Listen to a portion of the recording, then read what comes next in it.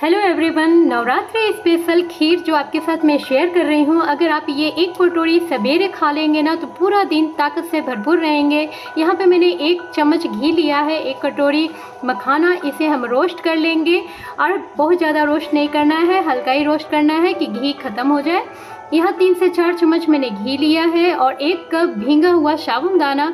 इसे भी हम अच्छे से भून लेंगे, जो आधा ये पक जाए। तब तक हमें इसे भूनना है। और एवरीवन आप कैसे हैं? आई होप सो आप अच्छे होंगे। मेरी वीडियो अगर आपको अच्छी लगे ना तो प्लीज़ लाइक एंड सब्सक्राइब करना मत भूलिएगा और शेयर करना भी मत भूलिएगा। अगर समय मिले तो एक बार ट्राई ज़रूर करिएगा ये रेसिपी और यहाँ पे हमारा साबुदाना अच्छे से पक गया है तो इसमें थोड़ा सा दूध डाल के हमें इसी तरह से चलाते रहना है। उबाल आने तक कि जबकि इसमें लम्स ना हट जाए और दाना अलग अलग ना हो जाए।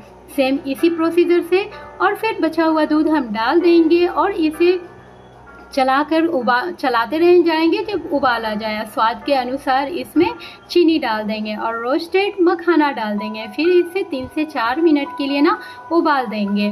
जब यह ठंडा हो जाएगा, तब हम इसमें मिलाएँगे जो भी आपको कच्चा फ्रूट्स हो या सूखा फ्रूट्स हो। फ्लेवर के लिए मैंने इलायची डाला और कोटिंग जो दिखाया है, बहुत ज़्यादा गाढ़ा नहीं होनी चाहिए।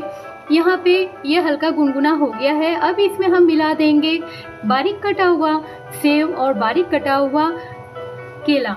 क्योंकि यहाँ पे मैंने ड्राई फ्रूट्स का यूज़ नहीं किया है, कच्चा फ्रूट्स का मैंने यूज़ किया है और थोड़ा सा मैंने किशमिश डाला, बारीक कटा हुआ बादाम और थोड़ा सा गार्निश के लिए मैंने यहाँ पे पिस्ता डाला है।